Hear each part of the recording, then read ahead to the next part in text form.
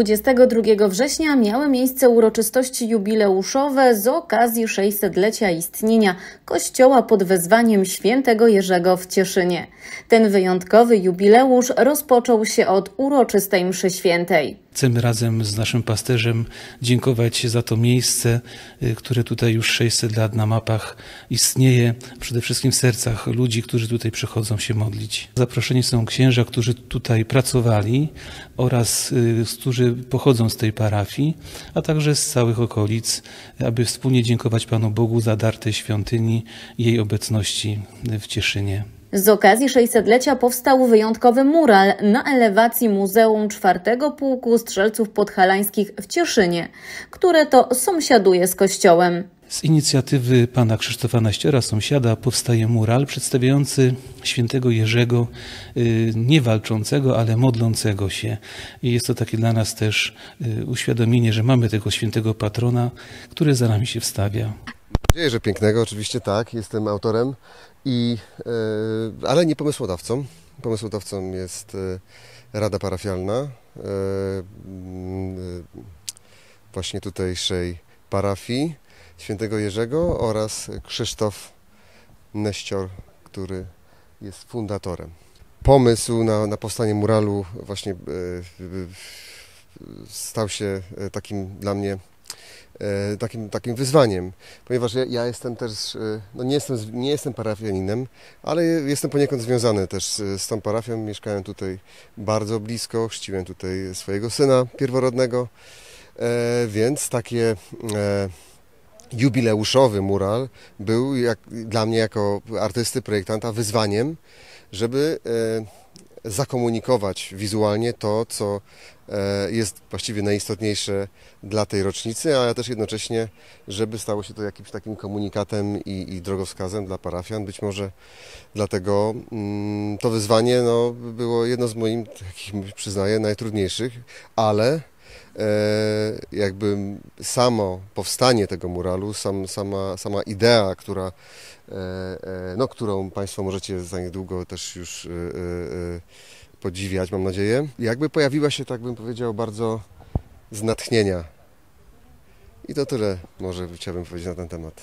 Oczywiście, że projekt jest projektem, zawsze tak jest. Mm, tak samo papier, tak samo wszystkie media cyfrowe przyjmą wszystko, ale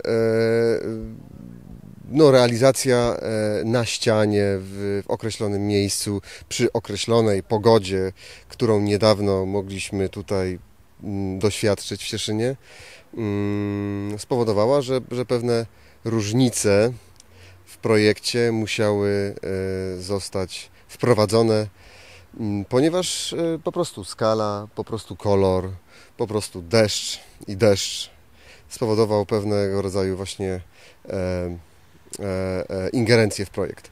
Natomiast e, tak to jest, że, że obraz czy, czy malarstwo już musi mieć swego rodzaju taki, musi żyć swoim życiem.